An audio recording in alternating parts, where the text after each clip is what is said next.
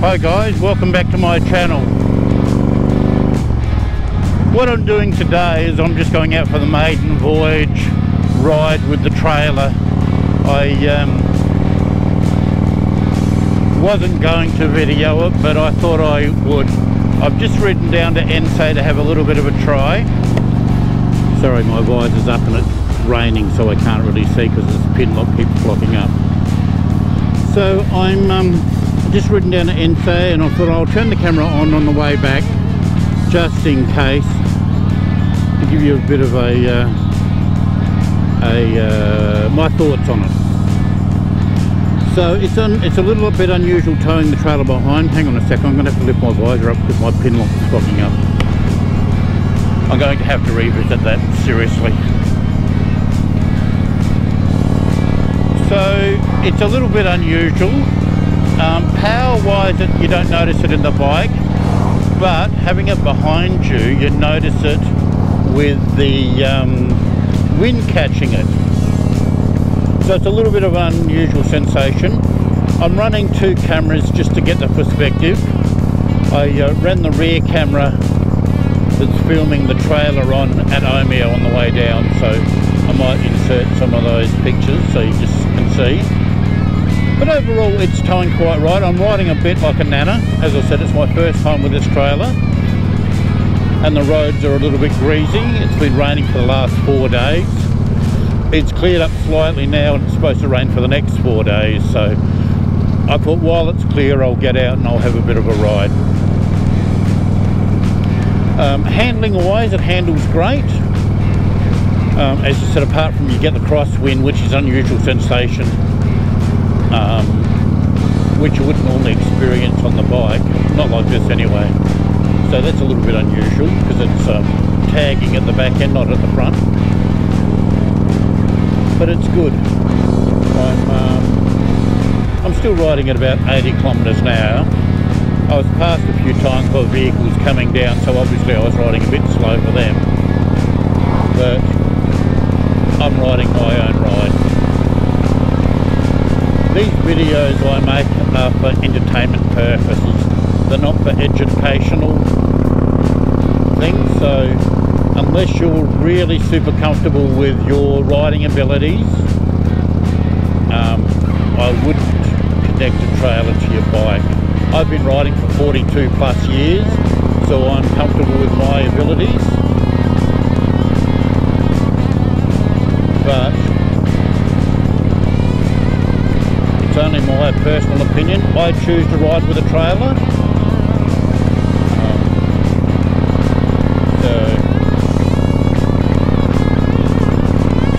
as you can hear that Harley burble as we climb the hill. The trailer weighs about 120 kilos, so it's not particularly heavy. It's like having another person on the back. I may have to readjust my suspension because I usually have it set for just one rider when my daughter does ride with me, she rides, she weighs next to nothing anyway. So, and that's becoming few and far between now she's turned 18. It's just not cool to ride with dad anymore. Not in our town anyway. I'm hoping this video works out, or this audio works out I should say, because a couple of videos back I had shocking audio, and unfortunately I'm having to ride with the visor partially up, so I may be getting excess wind noise and stuff this time too, so I don't know. It's about 7 degrees and it's not particularly good weather. When I rode down, um, another part of the reason I didn't have the camera on is because it was raining. I'm not sure if the windshield was going to deflect rain away from the camera or it's just going to be washed out, so um, but it's now it's not raining on the way back so part of the reason I decided to do it. I'm supposed to be having an overnight camping trip with the staff from my school as a part of our um, learning experience to teach the kids. We're supposed to be doing that this Thursday, so the day this video comes out. Um, and uh, where we're camping, I didn't really want to sleep on the ground. As I said, I'm too old, too old to throw a tent on the ground, so I'm hoping to take this camper trailer out so I thought I'd better go out and have a ride and tow it round Now I'm all street legal and registered. In Victoria, because the trailer is so small and it's towed behind a wider vehicle, you don't need to register it. I don't have a tow bar in my car, only on the bike. Um, so I have to have it registered behind the bike. And when I travel interstate, you have, have to have it registered anyway, so it's not bad. And it only costs $100 for a year, so it's not that bad with the, the number plate the inspection all the things to go with it. So, so I had that done this week. So now I can actually tow the bike, uh, tow, tow the trailer behind the bike.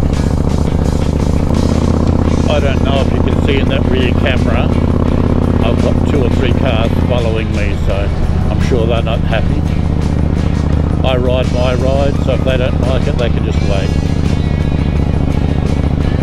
I'm not out here to prove anything to anybody.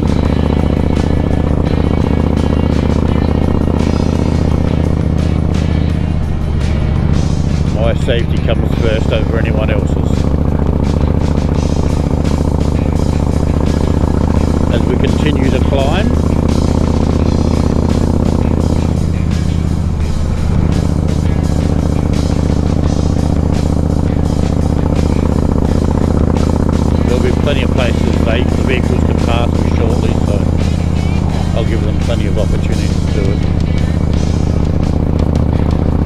On the highways and things, um, I can maintain a high speed, but I'm doing 90 kilometres now, so it's not like I'm going slow.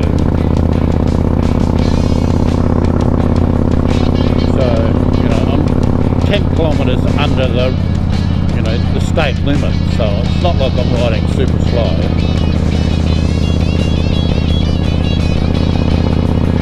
I've got to take into consideration now because this trailer is 2.1 metres long. Especially when I go parking and stuff as I'll have to get used to um, trailer being so much longer I won't be able to drive in and just pull out. I won't be able to just drive in and reverse back in. I'll have to park like a car so. This will be the first of these cars passing me I think. Maybe not because naturally there's a car caravan coming in the opposite direction. As I said, I'm doing I'm doing just under 100 kilometres an hour, so it's not like I'm riding slow.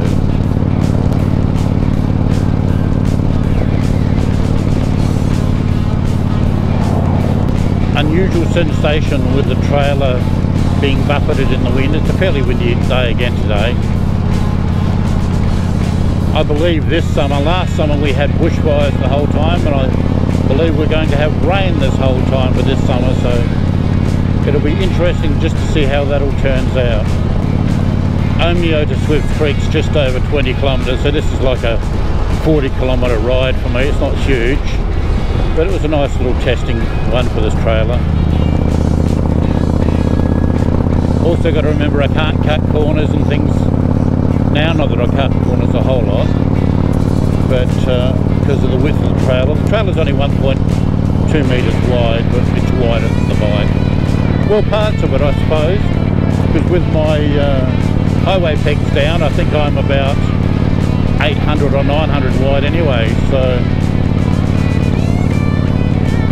But I'm not trailing behind myself, so I just have to get used to it. In Victoria, it was a long weekend this weekend for the grand final and to show our support for all the doctors and nurses that have worked. I think that's how they've justified the uh, long weekend. Normally it's the grand final long weekend, so we have Friday off, but because Queensland has the football grand final,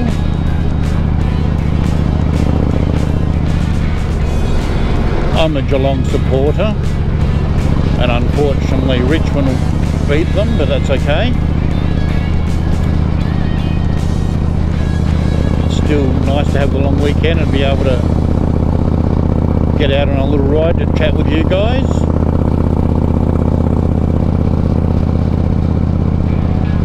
It's going to rain for the next four days, so while there was a break in the rain, I thought I'd better get out and do this. So depending on how well this video worked out, I may or may not unwrap the Honda and add a little bit of filming to that just to give you a glimpse of the nightmare I'm about to enter into. Otherwise, if you like this sort of content, give us a like and a subscribe and hit the notification bell so you receive my content. I post weekly and on Thursdays it comes out. You've been watching Michael and this is my cycle. So if I don't get to speak to you again, bye for now.